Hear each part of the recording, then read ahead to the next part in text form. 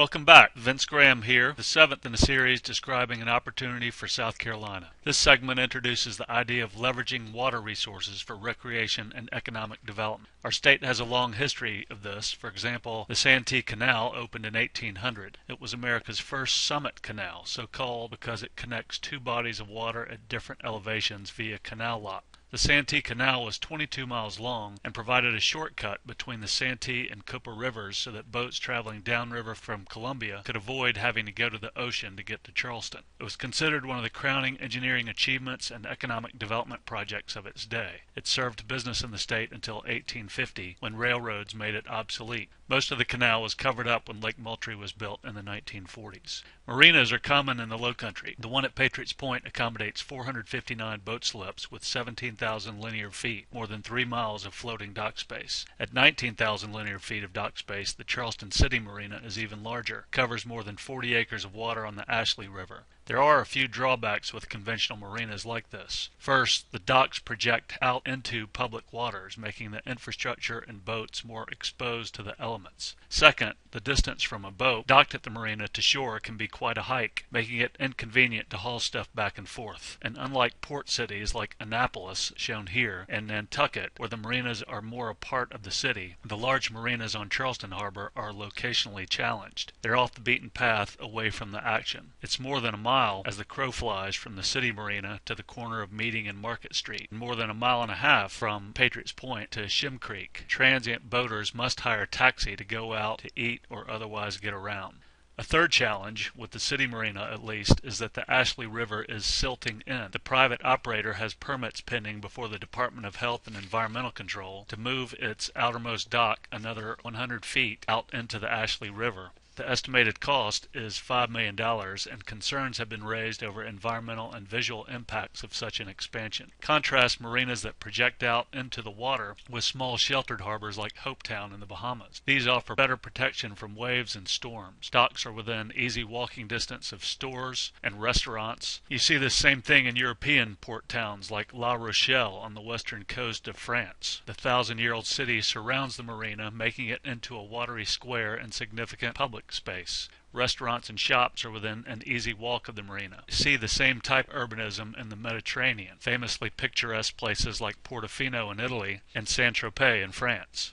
The other cool thing about places like Saint-Tropez um, excuse me. The other cool things about places like Saint-Tropez and Portofino is they create tremendous real estate value in places to walk and dine. These cities served as Charles Fraser's inspiration for building Harbor Town on Hilton Head 40 years ago. Rather than project out into Calibogue Sound, he wanted the marina to be an urban place surrounded by buildings. In the process, he created an iconic South Carolina landmark with immense real estate value. The problem with Harbor Town, though, is that it accumulates silt and sediment at the rate of about 10,000 cubic yards a year and must be dredged every four to five years at a cost of about a million dollars. With that economic challenge in mind, Fraser, ever the innovator, in conjunction with J.R. Richardson, developed Windmill Harbor on the north end of Hilton Head about 20 years ago. Windmill Harbor utilizes an ingenious lock system not unlike that used on the aforementioned Santee Canal. Boats up to 85 feet in length move between the Intercoastal Waterway and Marina through this lock. In more than 20 years, Marina has never needed dredging. Among its other advantages is that there is no tidal fluctuation or wakes from high-speed boat traffic. Sea life doesn't grow on the bottom of boats, and fishing inside the harbor is fantastic. They've also got an active yacht club with an outstanding junior sailing program.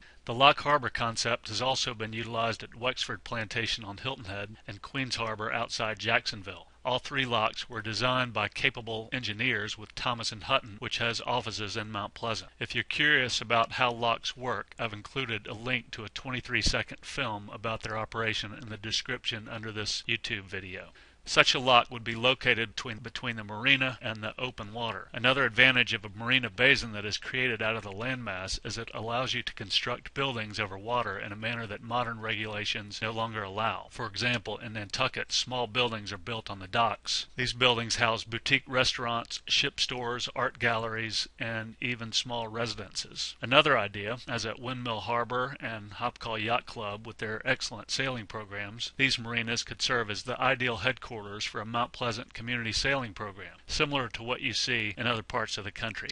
I'd recommend two marinas one about 10 acres and the other about 5 acres, roughly the size of East Lake and West Lake in I'On. The marina basins could be connected with canals of the type made famous in Venice, Italy, Amsterdam and Holland, and Bruges and Belgium. As with Amsterdam and Bruges, the locks would keep the water at a constant level. They aren't difficult or costly to build. We built two of them between the lakes and I'On. In fact, we still have a few lots remaining on the canals. If interested, give me a call. And canals don't have to be limited to just residential use. Like the Riverwalk in San Antonio, there can be cool restaurants, hotels, and office buildings along the waterways that become popular destinations. So to summarize, here's the 400 acre Patriots Point property with the three mile long path to Liberty shown in orange. Here's our low country botanical garden, our finest front porch in the south, our culturally significant performing arts theaters, a couple of Lock Harbor marinas, one 10 acres and one 5 acres connect these marinas with canals. These could be built in phases with three locks connecting to Charleston Harbor. Patriots Point Marina has 459 slips. This provides a rough indication of the number of slips the basins could accommodate